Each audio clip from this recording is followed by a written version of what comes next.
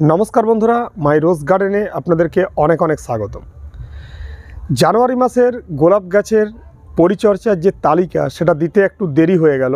তাই আজকে মকর সংক্রান্তির দিন জানুয়ারি মাসের গোলাপ গাছের পরিচর্যার পনেরো তারিখ থেকে একত্রিশ তারিখ অবধি কীভাবে করবেন, প্রত্যেক দিন ধরে ধরে সেই ব্যাপারটা বলব। তার আগে বলব, প্রত্যেককেই মকর সংক্রান্তির প্রীতি, শুভেচ্ছা ও আন্তরিক অভিনন্দন। চলুন বন্ধুরা, আজকে আমরা শুরু করে দিই গোলাপ গাছের সাত দিনের পরিচর্যার তালিকাটা। আজকে সোমবার, তো সোমবার থেকেই আমি গোলাপ গাছের পরিচর্যা স্টার্ট করব যাতে করে এই ভিডিওটা দেখার পরে আপনারা কাজ করতে পারেন, সেই রকমভাবেই আমি পুরো তালিকাটি সাজানোর চেষ্টা করেছি। তো সোমবারে আমরা যেটা করব ফার্স্ট সেটা হচ্ছে গাছকে আমরা কীটনাশক দেবো। তো কীটনাশক হিসাবে আমরা সোমবারে যেটি ব্যবহার করব সেটি হচ্ছে সুপার সোনাটা এইচপিএম কোম্পানির সুপার সোনাটা দু এমএল এবং ইমিডা ক্লোরোপিড এক এমএল এক লিটার জলে নিয়ে আমরা কিন্তু স্প্রে করব। এটা আমরা বিকেলের টাইমে করব। বন্ধুরা, বিকেলের টাইমে যদি কীটনাশক স্প্রে করি, দীর্ঘক্ষণ আমাদের গাছের পাতার সাথে সেই কীটনাশক লেগে থাকবে। সেই সময় কোনো রকম উপকারী যে সমস্ত কীটপতঙ্গ আসার কথা তারা আসবে না, যারা ক্ষতি করে আমাদের গোলাপ গাছে, সেই সমস্ত পোকামাকড়েই আসে এবং তারা ওই কীটনাশকের প্রভাবে ওখানেই কিন্তু মারা পড়বে। তার জন্য আমরা বিকেলে, সোমবারে কীটনাশকটা দিচ্ছি। সুপার সোনাটা এবং ইমিডাক্লোরোপিড একসাথে মিশিয়ে পরে স্প্রে করলে গোলাপ গাছে কিন্তু খুব ভালো রেজাল্ট পাওয়া যায়। কোনো রকম প্রবলেম নেই। আমার এই যে বাগান, এই বাগানে আমি মেনলি সুপার সোনাটা এবং ইমিডা ক্লোরোপিডাই বেশি ইউজ করি। তার ফলেই কিন্তু গাছে এই সুন্দর সুন্দর পাতা থাকে, কোনো রকমের প্রবলেম হয় না। তো এটা গেল সোমবারের কাজ। এবারে আপনাদেরকে আমি বলব মঙ্গলবারে। মঙ্গলবারে যেটা করতে হবে ফার্স্ট সেটা হচ্ছে সকালেই গাছগুলোকে ভালোভাবে স্নান করিয়ে নেবেন। আমরা জানি যে গোলাপ গাছকে যদি আমরা ঠিকঠাকভাবে স্নান করাতে পারি, গোলাপ গাছের যে সমস্ত পোকামাকড়ের উপদ্রব হয় সেগুলো হবে না। গোলাপ গাছে প্রচুর নতুন নতুন ব্রাঞ্চ আসবে। যত বেশি ব্রাঞ্চ আসবে, সেই গাছ থেকে আমরা তত বেশি ফুল পাব। তাই বেশি ব্রাঞ্চ আনার জন্য প্রত্যেক দিন গোলাপ গাছকে স্নান করান। তার জন্য আমি আমার পরিচর্যার যে রুটিন, সেই রুটিনে আমি স্নান করানোর ব্যাপারটার উপর ভীষণ জোর দিয়েছি। প্রথমে আমরা গোলাপ গাছকে স্নান করালাম, পাতা শুকনো হয়ে যাওয়ার পরে আমি দিচ্ছি একটি খাবার। কি খাবার না এনপিকে উনিশ উনিশ উনিশ। ঠিক আছে? এই পরিচর্যাটা মেনলি একটু বড় গাছের। মানে যে গাছ কাল প্রতিস্থাপন করেছেন, আজ সেই গাছের কিন্তু এটা পরিচর্যার তালিকা নয়। এটা মেনলি সেই গাছের পরিচর্যা, যে গাছে আমরা প্রুনিং করেছিলাম, যে গাছে আমাদের ফুল ফুটছে, সেই সমস্ত গাছের জন্য এই পরিচর্যার তালিকাটি। উনিশ উনিশ উনিশ, আমরা এক গ্রাম, এক লিটার জলে নিয়ে সকালে স্প্রে করব। মানে প্রথমে স্নান করালাম, পাতা শুকনো হয়ে গেল, তারপরে আমরা এনপিকে উনিশ উনিশ উনিশ স্প্রে করছি। এটা গেল মঙ্গলবারের কাজ। এবারে বুধবারে যেটা আমরা করব প্রথমে সি একইভাবে গাছকে ভালোভাবে স্নান করাবো, পাতা শুকনো হওয়ার পরে যে কাজটি থাকবে সেটি হচ্ছে রুট ট্রিটমেন্ট বন্ধুরা রুট ট্রিটমেন্টটা গোলাপ গাছে আমি বারবারই প্রত্যেকটা ভিডিওতেই কম বেশি বলি যে এটা খুব গুরুত্বপূর্ণ একটি কাজ। তো রুট ট্রিটমেন্ট করার জন্য আমাদেরকে তিনটি জিনিস লাগবে। প্রথমে লাগবে যেটি, সেটি হচ্ছে হিউমিক অ্যাসিড হিউমিক অ্যাসিড লাগবে দু গ্রাম। সেকেন্ড যেটা লাগছে, সেটি হচ্ছে একটি রুট হরমোন রুট হরমোন হিসাবে কাটিং এড খুব ভালো রকমের কাজ করে। কাটিং এড পাউডার সেটা নেবেন দু গ্রাম।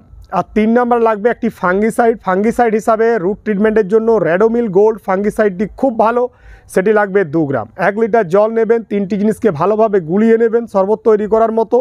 প্রত্যেকটি গাছে দুশো থেকে আড়াইশো এমএল করে জল দেবেন। টবের গাছ হোক, জমির গাছ হোক, দুশো থেকে আড়াইশো এমএল করে জল দিতে থাকুন রুট ট্রিটমেন্ট হিসাবে। দেখবেন আপনার গাছের কোনো রকম প্রবলেম হচ্ছে না। পাতা পুড়ে পুড়ে যাচ্ছে। বা আমাদের গাছের গ্রোথ হচ্ছে না, ইত্যাদি ইত্যাদি যেগুলো বলা হয়, প্রত্যেকটাই রুট ট্রিটমেন্ট ভালোভাবে না করার ফল। রুট ট্রিটমেন্ট করলেই গাছের বৃদ্ধি, বিকাশ সব কিছু ঠিকঠাক হবে, কোনো প্রবলেম থাকবে না। এবারে বলব আমরা যেটা, সেটা হচ্ছে বৃহস্পতিবার। বৃহস্পতিবারের সকালে যেটা ফার্স্ট কাজ, সেটা হচ্ছে গাছকে স্নান করানো। এটুকু সময় কিন্তু আমাদের গোলাপ গাছ করতে গেলে দিতেই হবে। আমি বলছি সারা দিন থেকে পাঁচটা মিনিট যদি টাইম দেন দেখবেন আপনার গোলাপ গাছ একদম ওকে কন্ডিশনে থাকবে। এই রুটিনটা যারা একবারে শুনছেন, মনে হচ্ছে অনেক কিছু জিনিস বলা হচ্ছে একসাথে, কিন্তু এটা একদমই নয়। কারণ সারাদিনে যে খুব বেশি টাইম দিতে হয় গোলাপ গাছে এমন নয়, কিন্তু সঠিক সময়ে সঠিক কাজটা আমাদেরকে করতে হবে। জাস্ট একটা গাছকে স্নান করাতে আমি ধরে নিচ্ছি দু মিনিট টাইম লাগবে, একটা গাছকে কীটনাশক দিতে খুব জোর হলে দু মিনিট টাইম লাগবে।